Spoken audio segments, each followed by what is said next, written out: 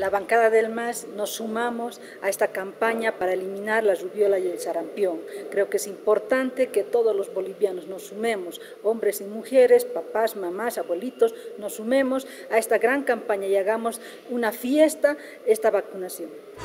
Este es un mensaje de los embajadores de la vacunatón. Bolivia libre de sarampión y rubeola.